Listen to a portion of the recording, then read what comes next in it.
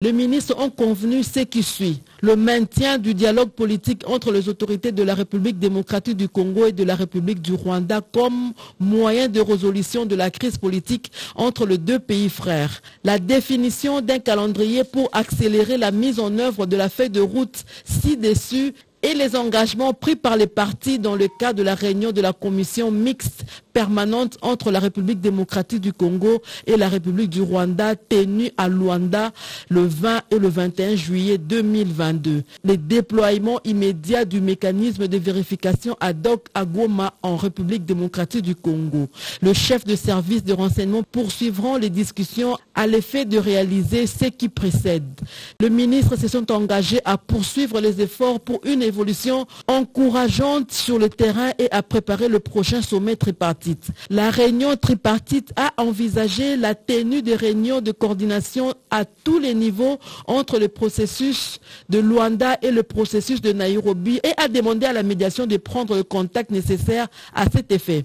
Le ministre des Affaires étrangères de la République démocratique du Congo et de la République du Rwanda ont remercié le gouvernement et le peuple angolais. Ils ont exprimé leur gratitude à son Excellence Joao Manuel Gonzalves Lorenzo, président de la République d'Angola et président en exercice de la CIRGL, pour sa disponibilité et son engagement. Ils lui ont transmis le message de ses homologues de la République démocratique du Congo et du Rwanda qui lui ont renouvelé leur confiance en sa médiation.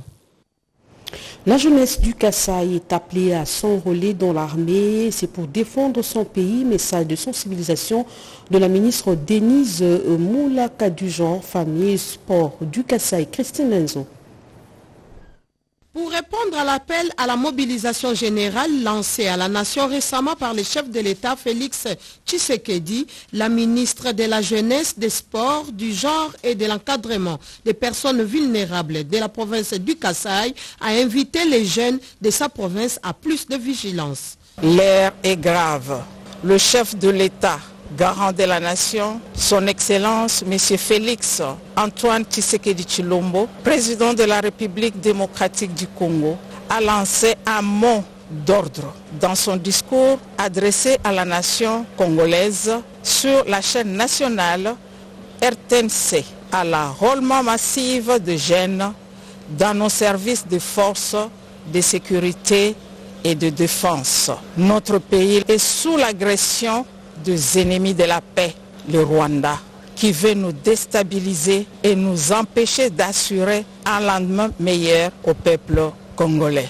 Mettons de côté toute divergence de nature tribale, régionale et politique. Soyons unis. Prenons conscience en regardant dans la même direction pour sauver notre chère patrie. La ministre provinciale Denise Mouluka Mouanji a aussi conscientisé les jeunes du Kassai à intégrer l'armée congolaise pour bien défendre la patrie. Mobilisons-nous tous la jeunesse du Kassai pour s'enrôler massivement dans l'armée et la police nationale en vue de défendre et sécuriser notre patrie contre toute attaque d'où qu'elle vienne. J'en appelle à la vigilance tout azimut, la jeunesse de la province du Kassai que dirige son Excellence M. Dieudonné Piem Toute-Côte, gouverneur de province. Car la paix a un prix. Mobilisation générale, le jeune à s'enrôler dans l'armée. On en parle encore. Cette fois-là, c'est avec Edi Chala. Une réunion urgente convoquée par le président national de Mbongwanaya Congo et conseiller spécial du chef de l'État, Philippe Ngwala Malemba, dans la nuit même de l'adresse du commandant suprême pour répondre à l'appel à la mobilisation générale contre le Rwanda, a débouché sur un engagement sans faille de soutien au FRDC. Nous, membres de l'association citoyenne Mbongwanaya Congo, réunis ce jour à Kinshasa à notre siège, avons suivi avec une attention particulière l'adresse à la nation du président de la République, chef de l'État, son Excellence Félix Antoine Tshisekedi Chilombo, ce 3 novembre 2022, relative à la détérioration de la situation sécuritaire à l'est du pays. Retenons de cette brillante adresse ce qui suit. Un appel à l'union et à la solidarité derrière nos forces de défense et de sécurité. Un appel à un enrôlement massif de jeunes dans les forces armées, ainsi qu'à l'installation par l'état-major général des forces armées des centres de recrutement à travers les 26 provinces de la RDC. En vue de répondre aux orientations ci-dessus du chef de l'État, commandant suprême des forces armées et de la police nationale, garant de la souveraineté nationale et de l'intégrité territoriale. Déclarons notre soutien indéfectible à l'appel du chef de l'État. Mobilisons et instruisons nos bases sur toute l'étendue de la RDC à se constituer un groupe de vigilance dans le strict respect des orientations du chef de l'État. Restons unis et solidaires derrière nos forces de défense et de sécurité. Réaffirmons notre engagement et notre soutien à la vision du chef de l'État pour la transformation du Congo dont nous sommes porte-étendard attitré. Fait à Kinshasa le 4 novembre 2022 à 0h22 minutes. L'appel du chef de l'État demandant à la jeunesse de constituer des groupes euh, vigilance, de vigilance ainsi que la mise en garde aux traîtres continue a suscité de réactions. La dernière en date, c'est celle de l'honorable Norbert Ezadri qui a démasqué le porte-parole du M23 à propos recueillis par David Moubenga. Cet appel à la résistance nationale loin d'être un simple slogan, doit transparaître en acte par un soulèvement citoyen réfléchi de nous tous, surtout de notre jeunesse. C'est dans ce sens que j'invite tous les groupes armés à cesser avec les hostilités internes. Administration, Major Willy Ngoma, qui est aujourd'hui porte-parole du M23, fut le préfet du complexe scolaire pilote de l'OPJ Kalombo à Ariwara et chrétien de l'église Crisco du presbytariat d'Ariwara. Lorsque un pasteur de la même église l'a surpris en communication avec l'ennemi et l'a dénoncé il prit fuite. Qui sait qu'il a ses adeptes en territoire d'Aru, province de Parti Orange, allié de l'Union pour la démocratie et le progrès social, entend mobiliser la population contre la guerre imposée à la RDC par le Rwanda, son président Fiyou Ndondoboni, qui a ouvert les bureaux de son parti à Kitambo prône pour l'union de tous les Congolais pour mettre fin à l'aventure du M23 appuyé par les Rwandais. Un reportage de Jean-Pierre Ndolo Demazou. Aucun centimètre du territoire national ne fera l'objet d'occupation par le Rwanda. Le président du parti Orange, Fiyou Ndondoboni, y croit dur comme fer. Il a dit un jour avant l'inauguration du siège de son parti à Kitambo, siège du district de la Lukunga. Le leader du parti Orange appuie le message du président de la République et invite tous les Congolais, comme l'a dit le chef de l'État, à taire leurs divergences pour converger leurs forces à l'éradication de la guerre dans l'Est de la République. Vous allez bien comprendre dans le message du chef de l'État, il a voulu donner une historique. Pourquoi est-ce que et la stratégie qu'il a utilisée Dans l'historique, il a dit comment il a consulté les neuf pays voisins de la RDC, qui était pour lui une stratégie de paix d'une manière générale, parce qu'il avait fait la promesse à la population que euh, le Congo devra rentrer dans une stabilité durable. Je pense que cette communication, cette historique avait un rôle très important et ça va couper toutes ces rumeurs qui allaient dans tous les sens incriminant le chef de l'État dans le sens des différents accords secrets. Donc il n'a jamais eu d'accord secret, donc c'était des discussions pour installer la paix dans la région. Cette mobilisation va s'étendre sur l'ensemble de la ville de Kinshasa avec l'ouverture d'autres sièges du parti. C'est ce qu'a affirmé le secrétaire du parti Orange, Bobo Bobunda Bobenga. Et Almoni Chapter de l'Université catholique de Louvain a organisé à Kinshasa un panel autour de stratégies d'entreprendre dans un environnement en mutation, une boussole utile ou inutile pour l'entrepreneuriat congolais la loi sur la sous-traitance. Ces thèmes ont été décortiqués devant les anciens étudiants de l'UETC Louvain, jeunes entrepreneurs et les diplomates belges en poste à Kinshasa. Reportage Malumbela.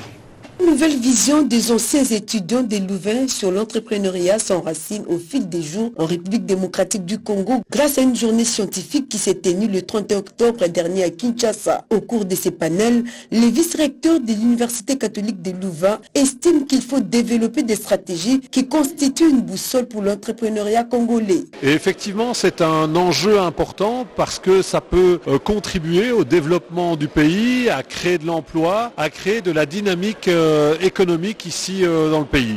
Vous avez une jeunesse qui a beaucoup d'idées, qui a beaucoup de potentiel, qui a beaucoup de dynamisme. Eh bien, il faut essayer de leur donner le goût d'entreprendre. À l'université, il faut euh, offrir des pédagogies innovantes pour donner l'envie d'entreprendre à cette jeunesse. En effet, la loi sur la sous-traitance demeure la clé de voûte de la promotion de l'entrepreneuriat. J'encourage la jeunesse, j'encourage les entrepreneurs congolais en général à saisir les opportunités qui sont offertes par la loi sur la sous-traitance. Pour l'organisateur, il est essentiel de capitaliser les acquis de cette activité. Quand on parle d'alumni de l'université, c'est-à-dire que c'est l'université qui se projette dans la société.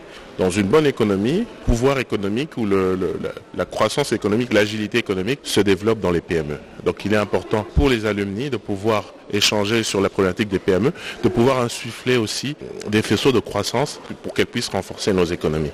Implanté en République démocratique du Congo, UCL Louvain Chapter Alumni vise le rayonnement de ses activités en prônant les valeurs scientifiques et humaines de la société africaine.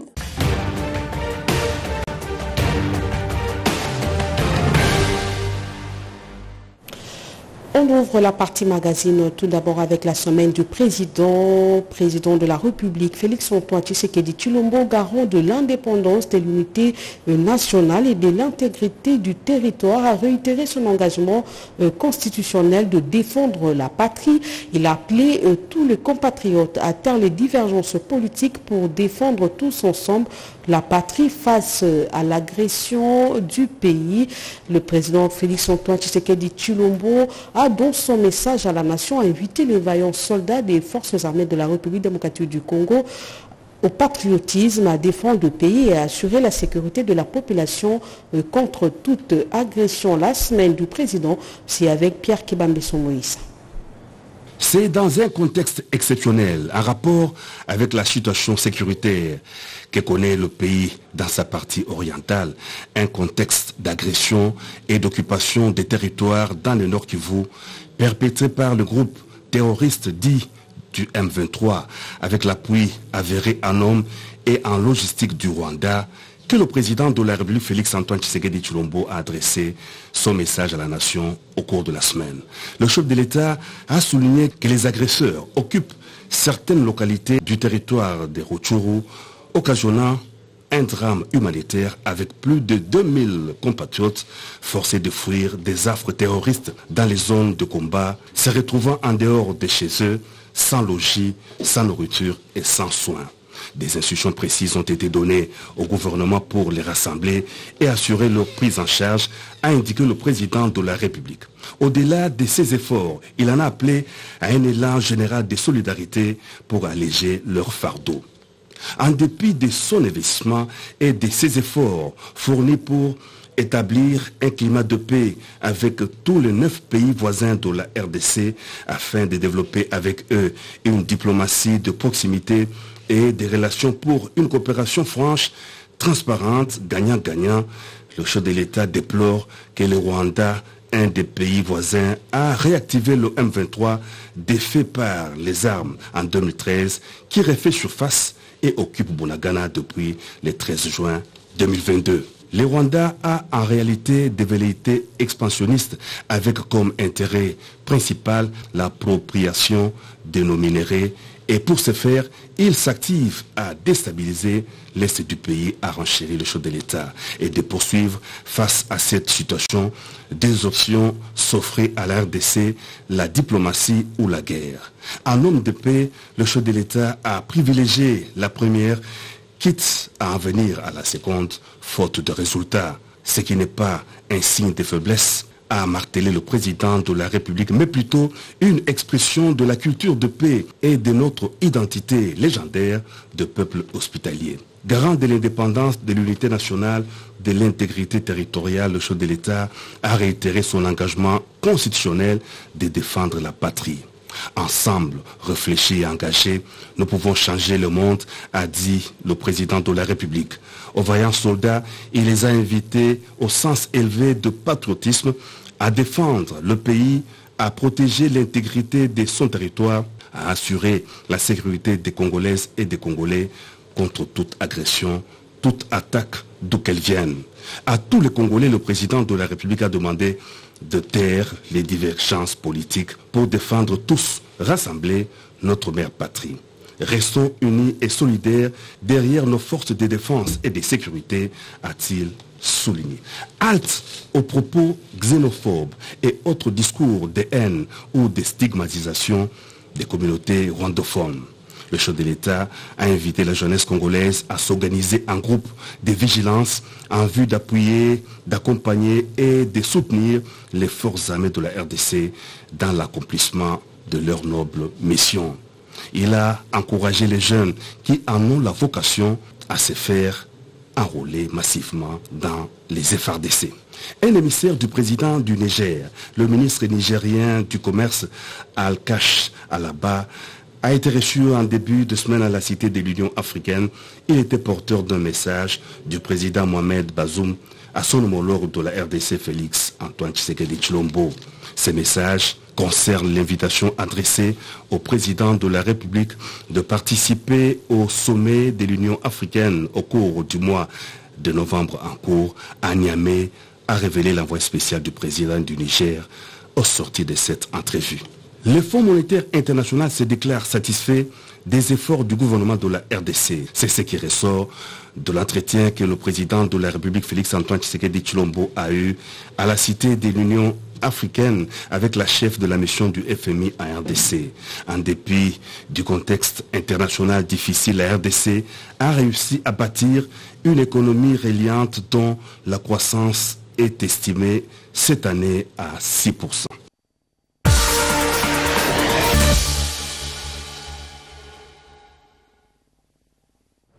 La situation humanitaire dans l'Est de la République démocratique du Congo, les états généraux de l'Université de Kinshasa et les projets du budget exercice 2023 sont là. Les quelques sujets qui ont retenu l'attention de notre rédaction résumée de la semaine en 5 dans une sélection de Edith Chala. La semaine qui s'achève est restée focalisée sur les conséquences du comportement médiéval du Rwanda dans l'est de la RDC. Des centaines de milliers de déplacés qui n'ont eu pour tort que d'appartenir à la République démocratique du Congo, pays disproportionnellement béni au regard du voisin. Les aides humanitaires, témoins d'un élan de solidarité, ont commencé à soulager les victimes de cette guerre injuste que nous gagnerons certainement. Le gouverneur militaire a déployé ses équipes dans le territoire de Niragongo, à Kanyaruchinya, précisément où se concentrent ceux qui sont venus de Rutshuru. Le gouvernement de la République a dépêché une importante délégation conduite par le ministre de la Défense nationale et ancien combattant pour des solutions urgentes sur place. Au front, les chefs d'état-major, adjoints chargés des opérations et chargés des renseignements militaires sont arrivés à Kibumba pour remonter le moral des troupes, donner les instructions relatives aux opérations de grande envergure en perspective. La semaine, c'était aussi cet appel du président de la République Félix Antoine Tshisekedi à la mobilisation générale. Des divergences et clivages politiques à transcender urgemment, message entendu par les fils des filles du pays, à l'opposition comme à la majorité, société civile comprise. Et rarement les voix ont aussi résonné à l'unisson, la mère patrie étant en danger. 14,6 milliards de dollars, jamais un projet de budget n'avait atteint ce record. Le Premier ministre Jean-Michel Samaloukonde était devant les députés nationaux pour répondre aux différentes préoccupations soulevées lors de la présentation de la loi des finances exercice 2023. Un résumé suffisant qui a mis la plénière d'accord et à la quasi-unanimité, le projet a été jugé recevable et envoyé à la commission ECOFIN pour un examen approfondi à la 42e session de l'Assemblée parlementaire paritaire Afrique, Caraïbes, Pacifique et Union européenne, le président du Sénat Modeste Lukwebo a dénoncé le Rwanda et fustigé l'indifférence de la communauté internationale face au déni du droit international du Rwanda. C'est par une motion incidentielle que le speaker de la Chambre haute du Parlement a pris la parole à Maputo devant les parlementaires tout lui.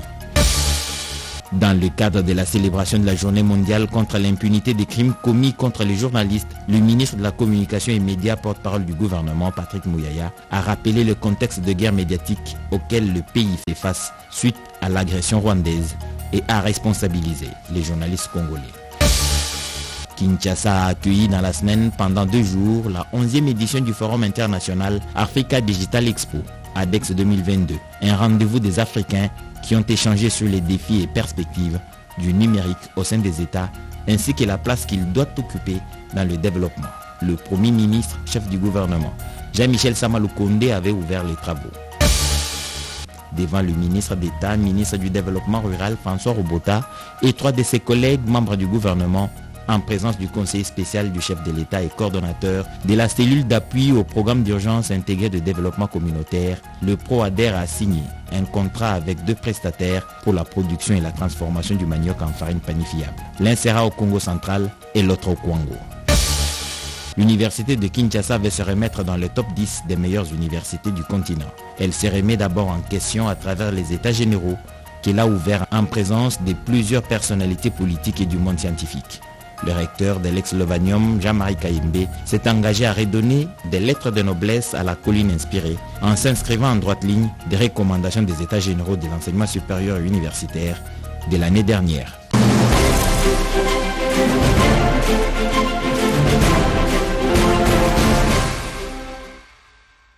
Place à ces dossiers sur la problématique de conflits fonciers, problèmes difficiles et récurrents en RDC. Je l'ai dit à l'ouverture de ce journal, l'éviter en amont pourrait être la solution.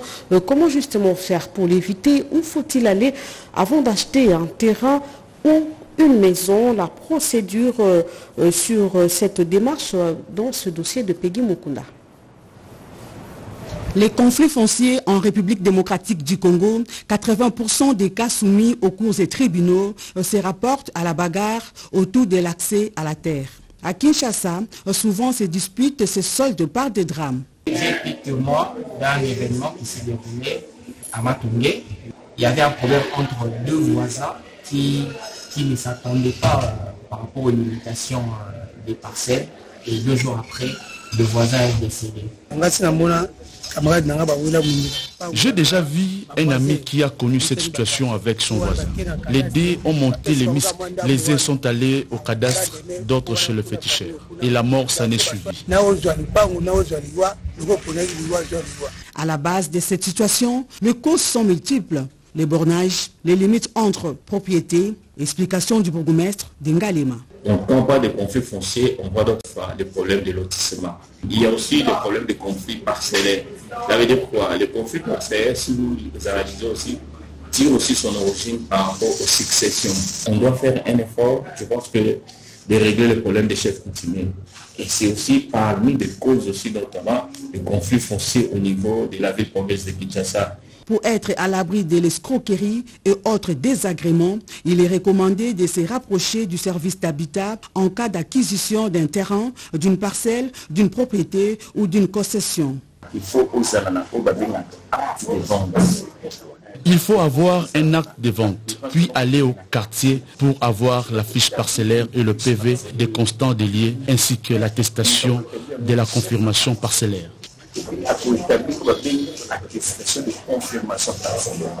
Comme des choses que nous avons euh, demandé à la population de faire un effort d'abord, de voir d'abord si les documents sont des documents viables. c'est lorsque une personne a acheté une parcelle qui est cadastrée, il peut avoir ce qu'on appelle certificat de l'éducation au contrat à perpétuité lorsqu'il met en valeur les terrains en question. C'est-à-dire que vous achetez une parcelle, mais qui n'avait pas, donc disons, on n'avait pas loti, on n'avait pas construit. Là, on va vous donner un certificat de, euh, de location. Le manque de formation, la non-maîtrise de la procédure exposent plusieurs personnes, la vulgarisation de la loi sur l'urbanisme. Aussi, les services de l'État doivent se reprocher des citoyens pour être connus.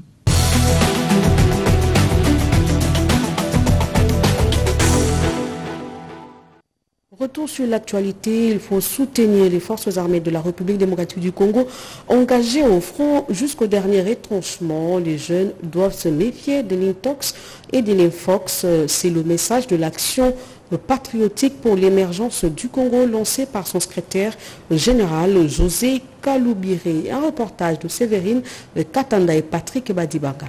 Analyse minutieuse de l'agression dans l'est de la RDC par le Rwanda, la situation sécuritaire à Kwamonte dans la province du Maïndombe a amené l'action de patriotes pour l'émergence du Congo à se mobiliser derrière le chef de l'État pour soutenir les forces armées engagées au front. Son secrétaire général, José Kaloubiré, dénonce le silence de la communauté internationale face à cette agression et soutient les actions menées par le commandant suprême des FARDC. Dans un sursaut de patriotisme protecteur, des valeurs républicaines qui sont la paix, APEC soutient tous les efforts déployés par le président de la République, chef de l'État, pour restaurer à tout prix la paix et la sécurité dans cette partie de notre pays. Pour ce faire, il est impérieux d'observer la discipline et d'éviter toutes sortes d'activismes et d'intox communicationnels qui risquent de compromettre les efforts du gouvernement et la tactique militaire de nos vaillants soldats au front.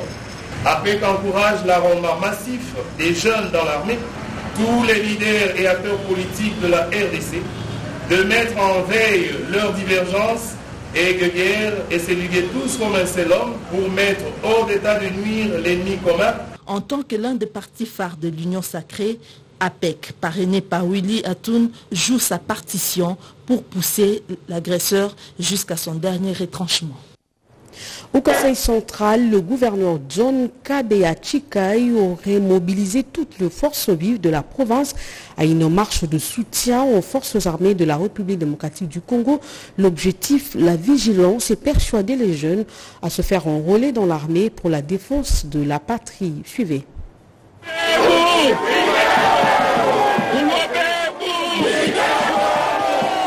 Sous une pluie battante, synonyme de bénédiction, que le gouverneur du Kassai central, John Kabeya Shikai, décidé de prêcher par l'exemple, a bravé la pluie en se pointant au lieu du départ de la marche de soutien au chef de l'État, commandant suprême des FARDC et de nos vaillantes troupes loyalistes sur les champs de bataille à l'est de notre pays, s'est retrouvé au rond-point Notre-Dame. Partis de toutes les communes, les centres kassaïens se sont dirigés vers la place de l'indépendance au lieu de chute de cette marche. Et là, le numéro un de la province a invité ses à se mettre ensemble pour tourner notre ennemi commun en dérision. À la jeunesse, Kabe Shikai a demandé de s'enrôler dans l'armée afin que les FARDC soient encore plus que renforcés.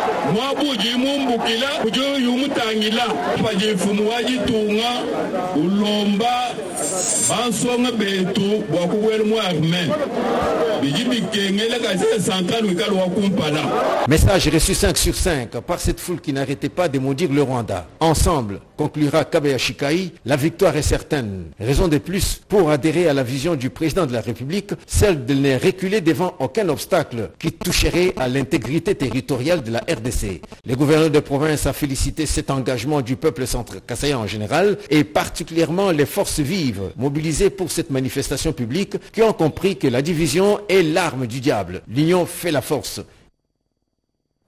On va se rendre au Kassai pour terminer. Joseph Kongolo Chimwini, directeur provincial de l'EPST Kassai 2, a conduit une équipe à Ilebo composée de l'IPP et d'IPROSEC pour se rendre compte sur terrain de la situation des enseignants qui peinent à toucher leur salaire. Franklin et Claire Calombo. Arrivé à Moueka en provenance d'Ilebo où il a conduit une équipe de cadres de la direction provinciale et Peste Kassai 2 en itinérance dans cette partie de la province du Kassai, Joseph Nkongolo Chimini, province de Moueka, a présidé une grande réunion à laquelle ont pris part tous les acteurs du secteur de l'enseignement en vue de faire l'évaluation d'un mouvement de grève qui a été déclenché à son absence sans le moindre respect de la procédure par le banc syndical des enseignants de Moueka. Le directeur provincial a, au cours de cette réunion, déploré ce qui est arrivé tout en fustigeant le comportement de ceux qui ont poussé les enfants élèves bien entendu et enseignants des marchés pour réclamer leur salaire. Le retard de paye que connaissent les enseignants de Moueka et d'Ilebo est lié à un problème technique des transports que connaît la banque payeuse qui n'est autre que Caritas IFOD qui n'arrive pas à charrier la masse salariale des enseignants à temps dans ces coins de la province du Kassai, a-t-il souligné. Et à lui d'ajouter qu'une solution durable par rapport à la difficulté qu'éprouvent ces enseignants est en train d'être trouvée. Précisons ici que le membre des comités de parents, les délégués des enseignants, les chefs d'établissement, les sous-gestionnaires et bien d'autres acteurs dans ce secteur ont pris part à cette réunion présidée par Joseph Nkongolo Chimini, directeur provincial EPST Kassai 2 basé à Moueka. C'était un journal de, Malou Umbela et le concours de Yolande Voka qu'il a réalisé à Tacha Kimbembi Machini, Joseph Ndienzo. Merci à vous de nous avoir suivis. Bon après-midi dominical à tous et à toutes. On se retrouve très prochainement. D'ici là, portez-vous bien.